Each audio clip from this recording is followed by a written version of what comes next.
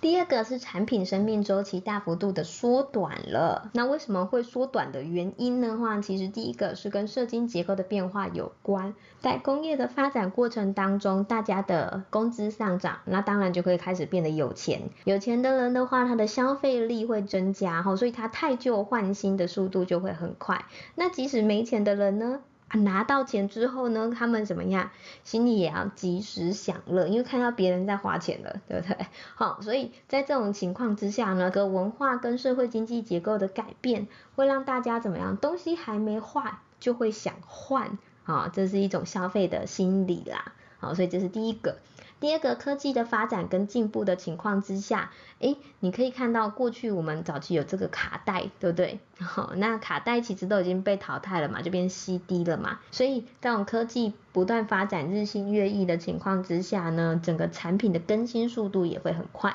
嗯，第三个是行销策略的操作，也就是说呢，它不是因为需要而去购买，而是因为想要而去购买。所以你可以看到，诶，手机越来越大了，哦，大荧幕好吸引人呐，对不对？啊，所以这种行销策略的操作，它就可能会让你把旧的机子换掉，买新的机子。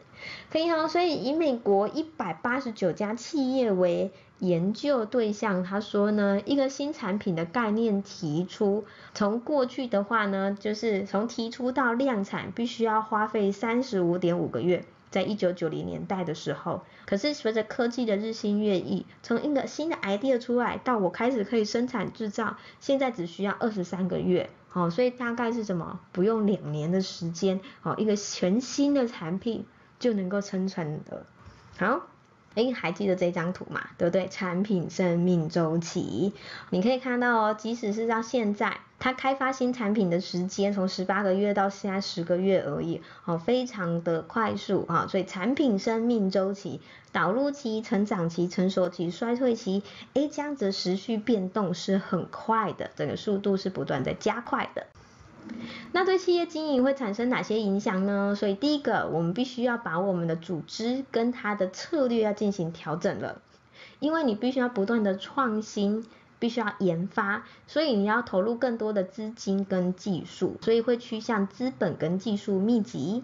第一个区位是不断的在改变的，具有产业群聚效益的地区的话呢，诶才能够因应这样子的形式啊，因为当我们把同样的企业放在一起之后，资讯的交流会越来越快速，所以彼此脑力激荡的情况之下，那个创新的氛围就会出来了。好，那次要的生产条件啊，机器、土地、能源的话，透过国际分工会分散到成本比较低的地方，好，所以也不再局限在同一个地方了，所以我们会到处寻求最适当的区位，而这个最适当的区位也是不断在改变当中，所以区位是不断会转变的。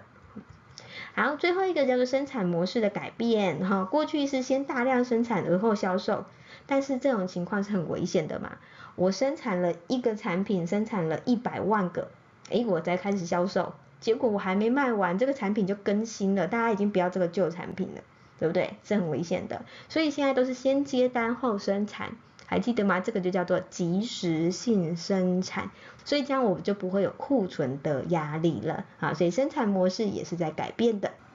好，那及时性生产的特色哈，我们最后就一点小小的总结啦，所以它是在。嗯，一群工人小组，好，所以这一群小组当中呢，他其实每一个人会负责比较多的工作，不像早期我们讲的那种生产的流水线，一个人只要负责一件事情就好，然后把效率做到最好，这样子人会疲乏嘛，所以及时性生产反而是你要负责比较多的工作，那你知道这一步跟这一步之间流程它的概念在哪里，那你也比较知道说。哎，到底哪一步如果我改良了，会让整个产品变得更好？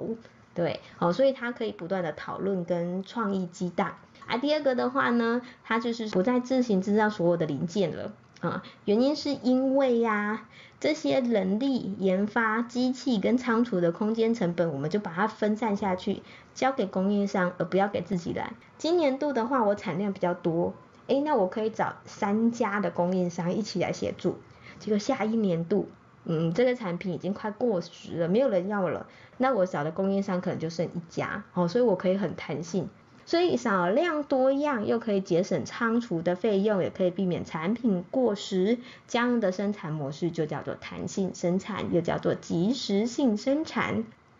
好，第三个问题，环保意识的兴起，哈，因为生产的时候会耗费水跟耗费电的情况之下，同时又会有废气、废水，还有土壤污染的问题，所以这些居民都非常的不喜欢，也就是说，当居民抗议嘛。那我们就要增设这些污染防治的设备。那污染防治的设备会让整个生产成本提高，所以我干脆不要让工厂在这里做好了，我迁往他处。可能像一些非洲地区，诶，它可能环保意识还没那么高，或者是周边人口还不多的情况之下，我就可以把工厂设立在这边，所以它的区位就必须要做一些调整了。举一个实际的例子，哈，这个是饮料厂跟民增水，这发生在哪里嘞？这发生在。印度在印度的话呢，有一个克拉拉邦哈，这有一家可口可乐装瓶厂，因为嗯饮料它最大的元素就是水嘛，哦，所以它抽取地下水来做这个可乐，可是没想到它大量抽取的情况之下，整个地下水面大幅度的降低，所以附近的饮用水没了。农田的灌溉水没了，所以呢，当地的居民的话呢，就说这个大型的跨国企业根本就是窃水强盗，拜托他赶快离开这里。所以这样也是一个。很大的原因啦，其实工厂的设立总是会给当地人带来一些问题跟麻烦的。那曾经日本也发生过啊，就是像水鱼病。水鱼病的话呢，在水鱼湾这边有一个氮肥公司把废水排放到里面，然后呢，结果没想到什么，当地的居民开始出现一些中枢神经和末梢神经就是失调。嗯，所以你看那个手是蜷曲的，然后他的脑其实没有办法控制他的肢体了，然后最后就是当然就过世了，吼，所以这样子的话就是一种工业污染。那台湾也有所谓的 RCA 污染，所谓的 RCA 是这一家公司是美国的公司，然后他来台湾设立工厂生产电视机，诶，可是他这些生产过程当中的有毒废弃物，它其实埋在土地而已。哦，他就是违法倾倒，他没有处理过，他就直接把这些有毒物质埋在土壤里，然后最后这些有毒物质就释放到土里面，然后甚至污染了地下水，造成当地如果去喝这个地下水，或者是当地的员工其实都不知道这些是有毒的物质的情况之下，不断的接触，然后最后很多人就罹癌，然后也就去世了。好，所以这也是一种哈工业污染的问题。好，那第四个的话呢，还有所谓的土地取得困难的问题，哈，就是随着环保意识的升高，哈，或者是地价越来越贵嘛，这样子一个企业的话呢，它所花费的那个成本其实大幅度的增加了，所以我们就举了这个六轻设厂位置的移动，哈，所以一开始民国七十五年的时候，原本一开始六轻厂是想要放在宜兰的。当然，宜兰人就强力的反对啦，哈，那当时候的宜兰县长也就说，嗯，不行，这个是高污染性的产业，不要。那结果就找到另外一个地方，就是桃园的观音，当地的话也是开始反对啦，哈，所以最后就找到一个云林麦寮六轻，哦，填海造陆。那当时候也是因为云林人其实是以农业为生呐，所以他们很多就是劳动力外流的情况之下，希望靠六轻。然后呢，能够把工作机会留在家乡。不过你会发现，现在的麦寮其实也有很大的问题了。我们之前也有提到的，诶，就是当地不管是 PM 二点五也好啦，或者是离癌的比例也都比较高。所以这个企业的话，如何做到污染防治？哈，就是企业的道德责任嘛。嗯，好。那最后一个就是我们刚刚有提到的加入 WTO 的冲击哈，也就是绿色的部分的话呢，都是世界贸易组织成员的一员。加入 WTO 的话呢，对于开发中国家而言，其实如果它是出口竞争力强的产业，自由开放的市场就会有利可图嘛。可是如果是一些依赖内需市场的产业，原本就是我们国内的人在购买的。如果有外国的廉价产品倾销而来，因为或者是诶有一些国外的产品品质比较好，我想要去购买它的话，诶那我们就是会受到冲击，然后甚至有些产业就被淘汰掉了。所以对于开发中国家而言，会有这样的冲击。那对以开发国家而言，其实它的各地的障碍是降低的，对不对？以开发国家来讲，我的产品比较强势的产品就可以行销到世界去，而且呢，有利于进行生产资源的转移。也就是说，哎，我可以配置我的生产区位，这里有廉价劳动力，那这里的话便宜的原料，对不对？我就可以做一个全球的布局，所以的话呢，我的企业的竞争力会更强。对已开发国家而言，它当然要极力促成这样子的，就是贸易自由开放。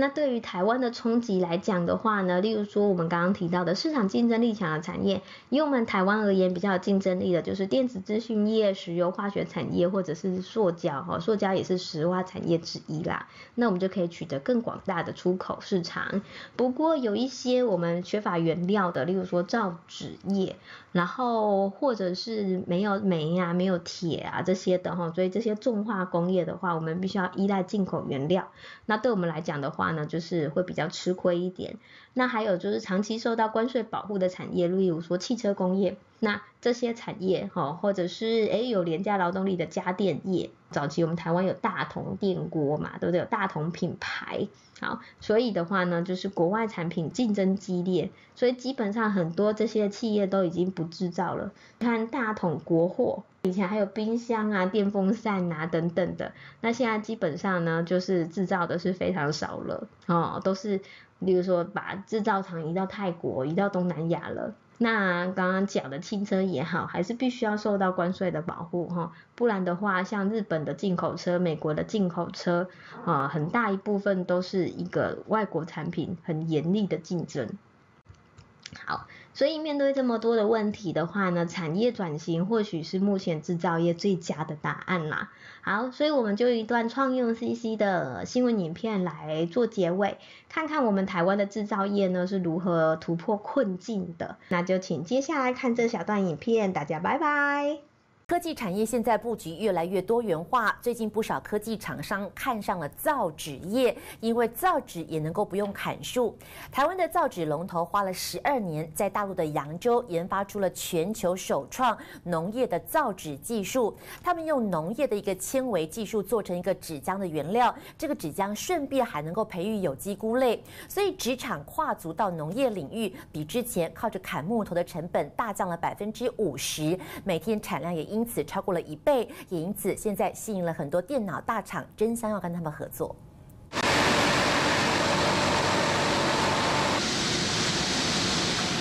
纸浆原料从脱水烘干，再到上胶压光，全台光一年下来的用纸量就得砍掉百万棵树。但现在有业者研发新技术。